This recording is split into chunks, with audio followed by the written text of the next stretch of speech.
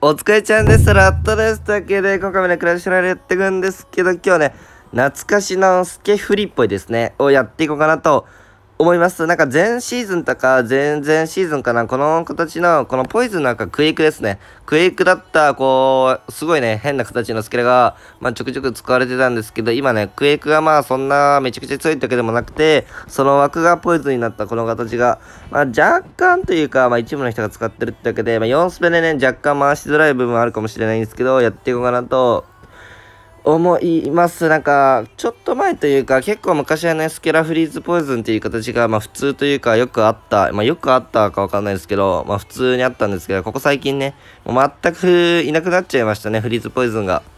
そう、まあ、なんでかわかんないんですけど、そう減っちゃったんでね、久しぶりに使っていこうかなと思います。で、今日はね、クラロワ最強決定戦がもうすぐあるので、まあそれを、についてか、まあなんかね、適当ですけど、話しながらね、やっていけたらいいかなと思います。あ、これウッドサイタですね。ウッドサイタらスケラーを処理できるなんもなくて、ユニットもパッキンしたら終わりですね。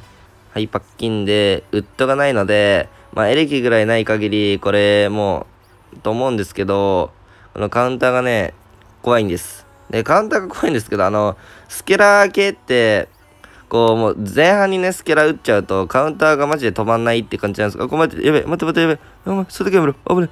そう、カウンターがマジで止まんないって感じなんですけど、この箱がね、デリバリーがあることによって、こういうカウンターも全部ね、あのー、止まっちゃうというのが強いところですね。まあ、前半も攻めすぎないようにしたいですが。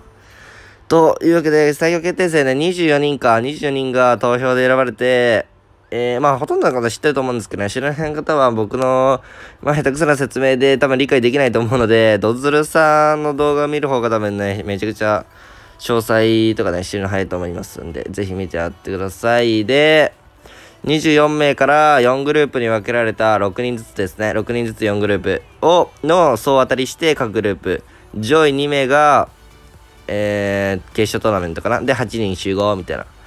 感じです。で、全部 BO3 言いましたっけ？で、僕のグループがね、あの、あ、これ相手諦めたっすね。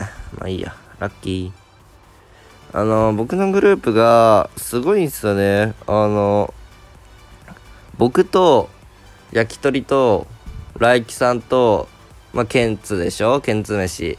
もうここだけでもうあの仲いい身内4人みたいな、プロ4人みたいな感じになってて、で、あと、二人がグロイチ、マルチね、グロイチ経験者のはじめさんと、あと、無名最強決定戦かなっていうのがあって、それで優勝した、あの、アイスエントランスさんって方かな。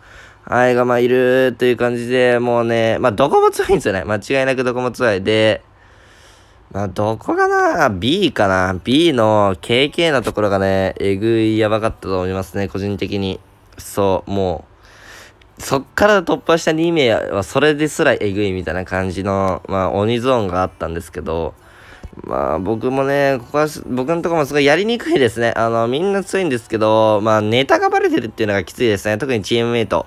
来季さんと焼き鳥には、もうなんかね、こう、まあ普段練習してた時とかも、わかるじゃないですか。何を練習するとかなってる時に、あー、これなら来る可能性があるなとかも、まあ、りますし、これを使うのはわかるでしょうけど、わざと、あえて使うとか、もうなんかね、もう、読みの、読みのレベルじゃなくなってくるんですよね。もうそう。読みの読みの読みとかでもなく、もうなんかね、もう ね、そう、すごい戦いにくいんですけど、まあ逆に、こう、普段ガチバトルっていうのを、まあそこまでやらないので、まあ練習でほんとちょくちょくとかしか、まあやらないので、こういった場でね、こう、普段やらないからこそ、こう、真剣に考えて、それで戦ってっていうのはすごいね、楽しみですね。そう、やらない、普段やらないからこそね、もうあの、そこの二人とは、あの、クリスマスとかバレンタインのね、あの、リア充クラコロみたいなのね、それでしかね、ほんと戦わないレベルでね、戦わないんですけど、まあ、いつも勝ってるんでね、そういう時、そう、ライキさんと焼き鳥にはね、今回もね、勝ちたいなと思いますね。まあ、ちょっとね、何のデッキ使おうかな。まあ、大体ぐらいしかまだ考えてなくて、まあその場でもね、相手が使ってきたデッキで、使うデッキも全然変わりますし、あと、14日ですね。13、14が試合で、僕の試合は14かな。僕の試合14なので、で、今日は今日何日だ ?11 日ぐらいかな。今日11日ぐらいなので、もうすぐですね。もうすぐ始まっちゃうな。で、これ、スパーキーはね、こういうスケラにね、終わるんですよね。よいしょ。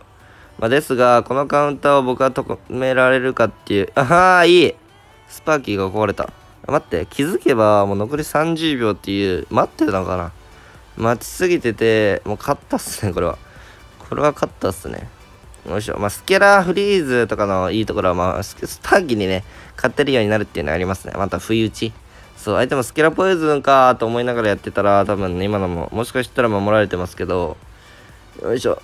さあ、まあ、フリーズは、こうね、たまに運よくめっちゃ刺さります。まあ、僕はこれが好きですね。はいと、まあ、言ったところで、まあ、予選突破したいですね、僕は。そう、最強決定戦。なんかもう、正直優勝できるとは思ってないので、っていつも言ってるんですけど、前も。なんか前、優勝できるとは思ってなくて、てかまあ予選は突破したくて、なんかね、惜しいところで行って負けるっていう、もう一番辛いやつだったんでね。まあ、今回まあ予選突破したいですね。マジで予選は突破したい。で、決勝行けたらもう満足かな、ぐらい。かなまあどうせなら優勝したいですけど、あの強いですからね。まあちょっと楽しみですね、本当に。本当に楽しみですね。あのー、なんか、麦一旦倒したいですね。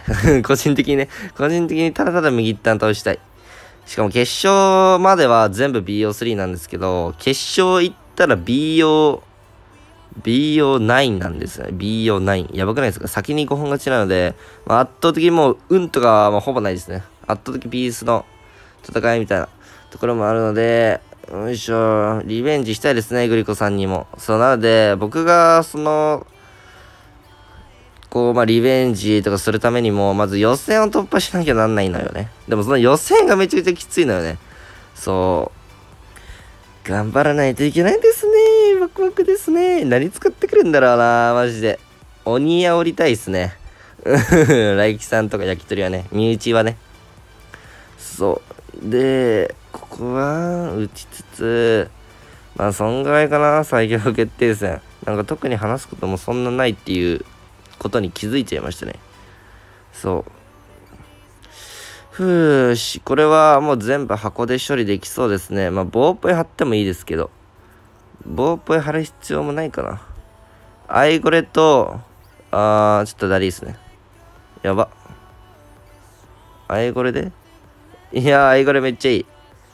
このマスク処理されたの痛いですが、相手は、スケドラですね。最近、最近これまたスケドラもね、増えてるんですよ。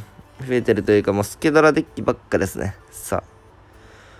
ふーしょ。これ壊します。で、スケラ打っちゃいたいな。で、ここの上3枚にライトニング打たれるのが一番きついですね。ワンチュン打たれそうなんですけどね。あ、打たれないのか。あいぐらいやったわ。あ、もうフリーズしちゃいてえな。こうフリーズすることによって何のメリットがあるかっていうと、スケラのダメージは正直そんな入らないんですけど、ゴロを解かせるんですね。このゴロを解かせると、まあ、あの、僕は棒ポイント、あと箱落としとくだけで、あの、全部止まるっていう感じですね。よいしょ。で、このライト打たれてもマスケ出せるんで、よいしょ。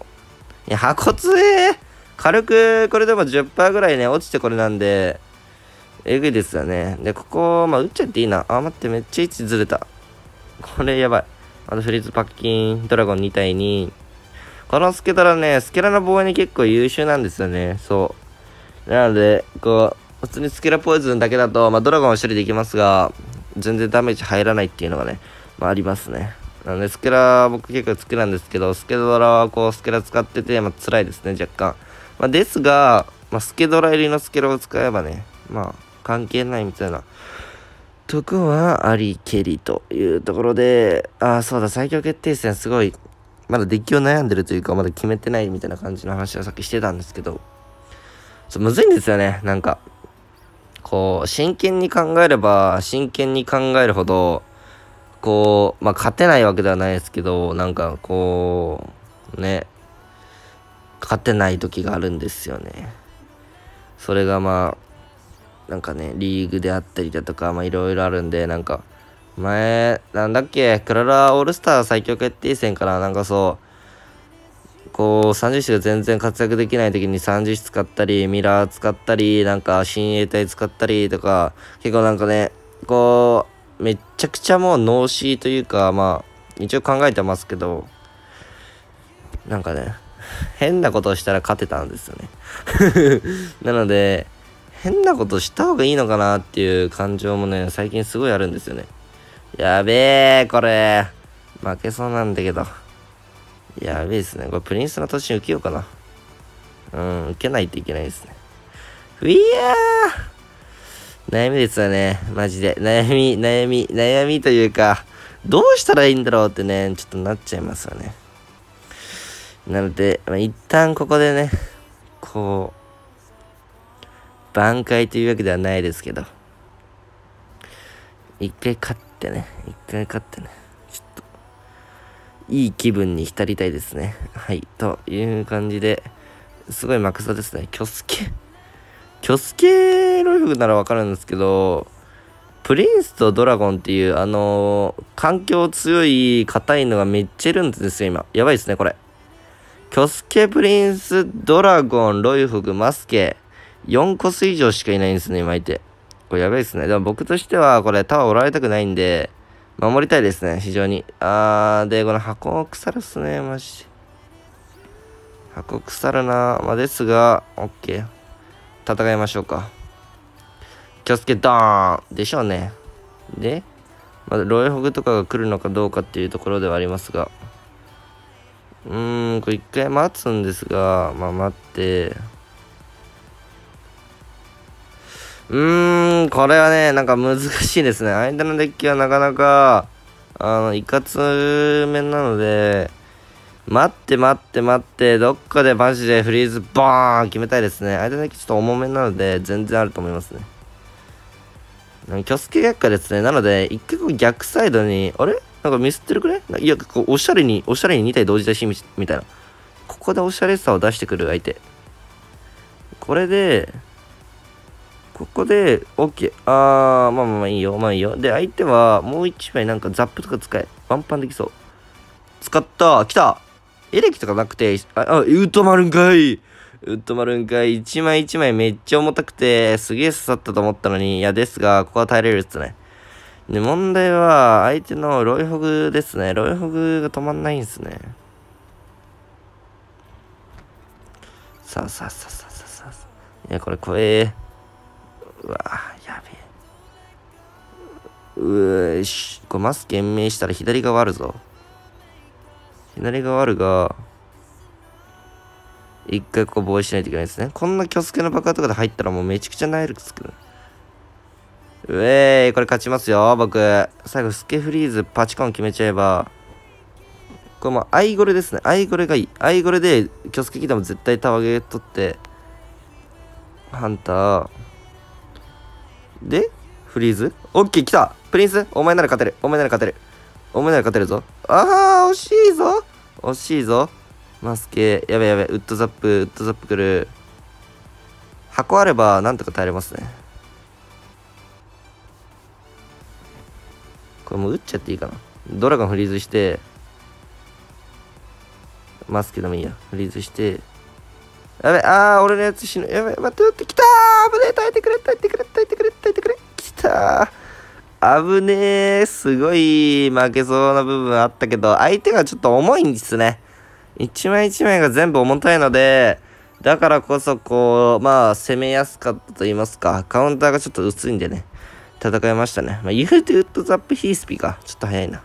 まあ、そんなわけで、最強決定戦ね、ちょっと、14日かな？僕の試合ありますし、まあ、13日からね、大会自体は始まるので、ぜひね、13、14日ね、皆さん YouTube で、あの、見ましょう。応援お願いします。はい。というところで、このデッキもね、皆さんぜひ使ってみてください。では、お疲れちゃんでした。